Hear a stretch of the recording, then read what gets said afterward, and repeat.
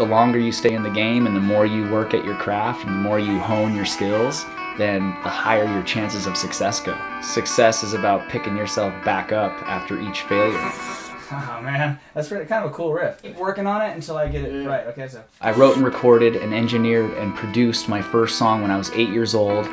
My mom and dad had state-of-the-art 24-track recording studio. My dad was working with all these high-level bands. It was just a trip to just be hanging out with them and then boom, they're, they're up on MTV. I was just like very bright-eyed and just had this huge vision. Yeah! Whoa, whoa! Write more songs, play more shows, do more, be more, go, go, go, just non-stop work. A full tank with unlimited miles. There's a party going after the show. Toured with Adler's Appetite, Guns N' Roses, played with Icon, had my own band, five albums, and feeling like there's nothing I can do to achieve what I want to achieve.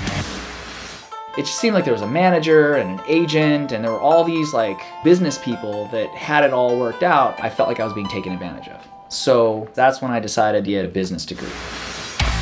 The business degree really helps. You can take this abstract talent and focus it. You have a plan to monetize your music or how your inputs are going to create outputs and how those outputs are going to generate revenue, then you're in business. I just feel like I'm in a project working with people where I can just be 100% of who I am and who I've always wanted to be. I'm just at the beginning of a whole new journey and I'm just excited to see where it could go.